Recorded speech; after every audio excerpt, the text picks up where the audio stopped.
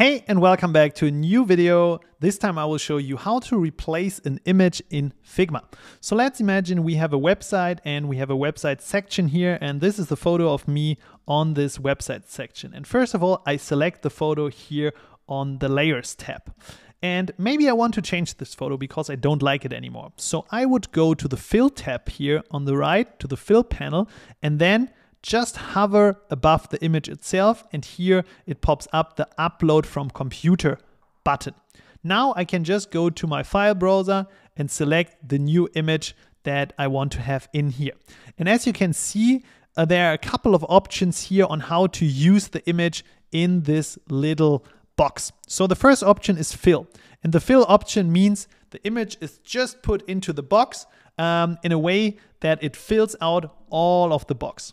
The second option would be a fit. Fit means basically the width of the image will be taken and be put into the box uh, as much as possible. So we want to see all of the image that we just replaced in and it's fitted to the width, but not to the height.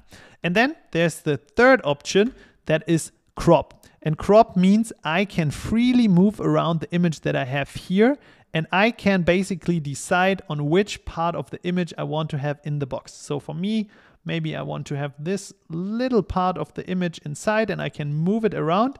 And as you can see here, okay, the image is now perfectly cropped. And last but not least, there's also option to use a tile. And tile means basically that they are stuffing the image on the vertical perspective. Um, but most of the time it's either like fit or crop what works best. And if you have any questions around this, let me know. Otherwise, I would really appreciate a thumbs up for the video and also a follow on the channel. So bye bye, see you in the next video.